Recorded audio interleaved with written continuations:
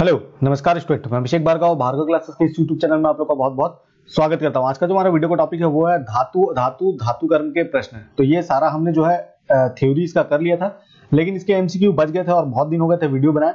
तो आज से जो है स्टार्ट करने वाले हैं और आज से कंटिन्यू वीडियो जो है, जब तक आपका एग्ज़ाम नहीं होता, तब तक अपलोड होते रहेंगे, ठीक है? तो आज से स्टार्ट कर रहे हैं। तो शुरू से लेके लास्ट तक इस वीडियो को देखिएगा ताकि आप लोगों को ये सारे एमसीक्यू जो है, अच्छे से याद हो जाए। और आप लोगों के अगर एग्ज़ाम में आए तो आपसे अच्छे से बन जाए। ठीक है? तो चलिए स्टार्ट करते हैं। स्टार्ट करने से पहले एक बात कहना चाहूँगा कि अगर अभी तक आप लोगों ने भार्गव क्लासेस के यूट्यूब चैनल को सब्सक्राइब नहीं किया हो तो जल्द से जल्द सब्सक्राइब कर लीजिएगा और बेल का आइकन ज़रूर प्रेस करिएगा ताकि वीडियो का नोटिफिकेशन मिलता रहे, क्योंकि बहुत सारे बच्चों को वीडियो का नोटिफिकेशन नहीं मिल पाता। देखिए, और स्टार्ट करते हैं। चलिए देखते हैं पहला प्रश्न क्या है। सबसे अधिक क्रियाशील धातु है। तो हमने धातु धातु धातु कर्म के सारा थ्योरी जो है पढ़ लिया था। तो आपको अब मालूम हो गया होगा कि कौन सा जो है सबसे अधिक क्रियाशील धातु है। तो यहाँ पर जो सही आंसर होगा, वो होगा पोटेशियम। पोटेशियम को हम किससे डिनोट करते हैं? के से डिनोट करते हैं। परमाणु संख्या कितना होता है इसका? तो परमाणु संख्या होता है 19 और ये क्षार धातु है। कौन सी धातु है ये? क्षार धातु है। तो ये इसके बारे में आपको जानना ज़रूरी था। वैसे सोडियम भी क्रियाशील ही धातु है, लेकिन यहाँ पूछा है सबसे अधिक क्रियाशील कौन सा है? तो वो होगा आपका पोटेशियम। ठीक है? एस्क में उपस्थित व्यर्थ पदार्थ को क्या कहते हैं? एस्क आप लोगों को मालूम है, जिसको हम और भी कहते हैं। उसमें उपस्थित व्यर्थ पदार्थ को क्या क्या कहते हैं? तो हमने ये पढ़ा हुआ है, बहुत अच्छे से आपको मालूम हुआ कि इसको गैंग कहते हैं। क्या कहते हैं? गैंग कहते हैं, ठीक है? पीतल मिश्र धातु है। देखिए, ये क्वेश्चन कई बार एग्जामों में पूछा जा चुका है। तो पीतल मिश्र धातु है किसका? तो ये है कॉपर और जिंक का। तो सी यू जेड एन ठीक है? किसका? कॉपर और जिंक का, ठीक है? सबसे कम है, ये कम है, ठीक है? सबसे कम अभिक्रियाशील धातु है तो सबसे कम अभिक्रियाशील धातु कौन सी होगी यहाँ पर? तो ये है प्लेटिनम ठीक है? कौन सी धातु होगी? प्लेटिनम जिसको पीटीसी डिनोट करते हैं, परमाणु संख्या इसका है कितना? 78 ठीक है? उसके बाद पांचवा क्वेश्चन है कि सल्फाइड एस का उदाहरण है तो सल्फाइड एस का उदाहरण कौन सा है? तो सल्फाइड एस का उदाहरण है आयरन पायराइट क्या होगा? आयरन पायराइट कोरंडम आप लोगों ने बहुत सुना, छत्तीसगढ़ आप पढ़ते हो, खनिज आप पढ़ा है आप लोगों ने तो कोरंडम के बारे में सुना ही होगा तो कोरंडम खनिज पाया जाता है। तो कहाँ पाया जाता है कोरंडम खनिज? तो ये पाया जाता है दंतेवाड़ा में। कहाँ पाया जाता है? दंतेवाड़ा में। और कोरंडम क्या है? तांबा का क्या है? ऑक्साइड है। किसका ऑक्साइड है? ये भी पूछा जा सकता है तो तांबा का ऑक्साइड है। ठीक है, याद रखिएगा, ये तांबा का ऑक्साइड है। ठीक? सातवां क्वेश्चन है कि तांबा सांद्र नाइट्रिक अम्ल से क्रिया कर गैस उत्पन्न करता है। कौन सी गैस जो है वो उत्पन्न करता है? तो ये उत्पन्न करता है सल्फ़र डाइऑक्साइड। कौन सी गैस उत्पन्न करता है? Sulphur dioxide. आयरन का मुख्य अयस्क कौन सा है? अक्सर एग्ज़ाम में पूछे जाने वाला एमसीक्यू है।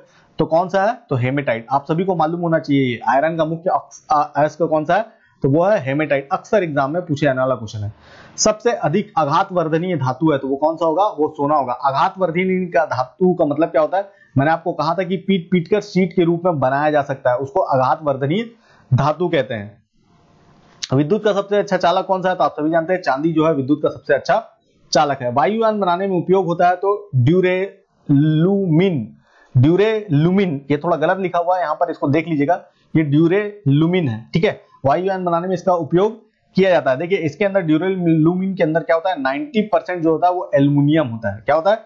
90 परसेंट एल्यूमिनियम होता है, चार परसेंट क्या होता है? कॉपर होता है और एक परसेंट मैग्नीशियम होता है और बाकी कुछ आया अलग होते हैं, ठीक है? ये वायुयान बनाने में उपयोगी सिद्ध होता है। रायपुर ज़िले में पाया जाता है तो रायपुर ज़िले में क्या पाया जाता है? रायपुर ज़िले में हेमेटाइट पाया जाता है। हेमेटाइट किसका अयस्क है? तो ये लोहा का अयस्क है, आयरन का। छत्तीसगढ़ में सोना और अभ्रक मिलता है। तो कहाँ मिलता है छत्तीसगढ़ में सोना और अभ्रक? तो ये मिलता है बस्तर में। कहाँ पर मिलता है? बस्तर में, छत्तीसगढ़ में सोना और अभ्रक मिलता है। ध्यान रखिएगा। निम्नलिखित धातुओं में सबसे अधिक सक्रिय धातु है। कौन सी जो है वो सबसे अधिक सक्रिय धातु है? तो वो है सोडियम। सोडियम मतलब Na सबसे अधिक सक्रिय धातु है। कैल्शियम सिलिकेट है। कैल्शियम सिलिकेट क्या है? तो कैल्शियम सिलिकेट जो है, वो एक धातुमल है। क्या है?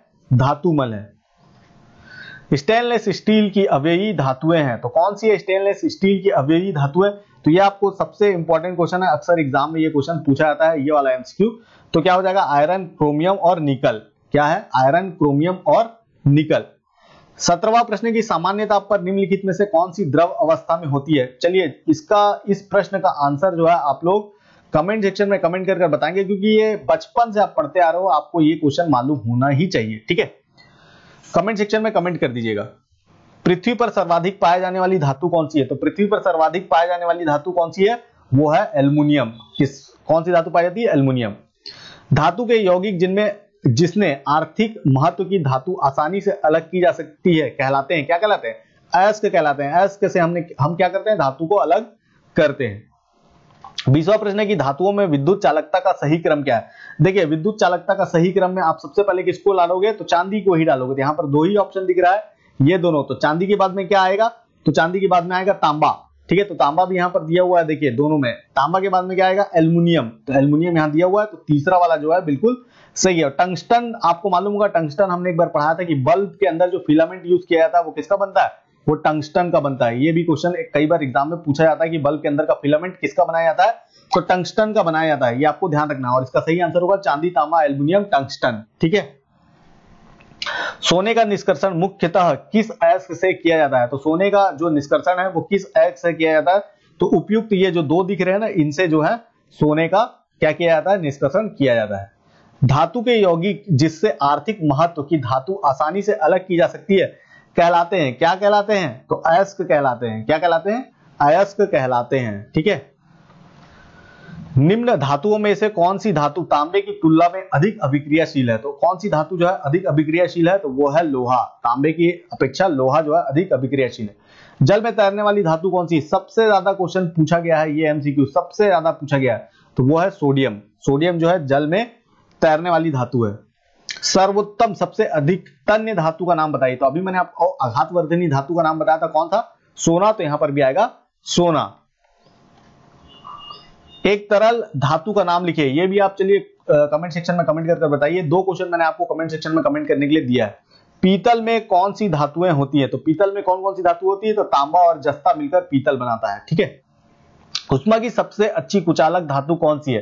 तो उष्मा की सबसे अच्छी कुचालक धातु कौन सी है? सीसा। अधातु का कौन सा उदाहरण है? तो अधातु कौन कौन से है? कार्बन, हाइड्रोजन, सल्फ़र तो ये सभी जो है अधातु का एक उदाहरण है। कौन सी धातु को छोड़कर सारी धातु कमरे के तापमान पर ठोस अवस्था में पाई जाती है? इसका भी आंसर कमेंट सेक्शन में कमेंट करिएगा। तो ये 30 क्वेश्चन है जिनसे आपके एग्ज़ाम में क्वेश्चन पूछे जा सकते हैं। तो इनको अच्छे से तैयार कर लीजिए, ठीक है? और अच्छे से, बड़े अच्छे से ध्यान से इनको देखिए और याद कर डालिए, ताकि यहाँ से कोई भी क्वेश्चन पूछा जाए। और यहीं से क्वेश्चन पूछे जाते हैं अक्सर।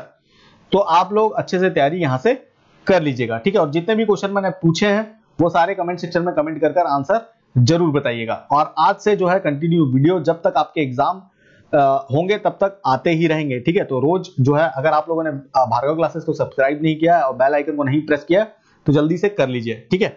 और नोट संबंधी जानकारी के लिए मैंने आपको नंबर दिया व्हाट्सअप नंबर उस पर आप जो है व्हाट्सअप कर सकते हैं, ठीक है? एक बार फिर से यहाँ दे देते हैं eight nine six two nine four seven two three five. इस नंबर पर क्या करिए व्हाट्सअप कर कर नोट्स के बारे में जानकारी प्राप्त कर सकते हो। तो आज के वीडियो में इतना ही था। जय हिंद, जय भारत।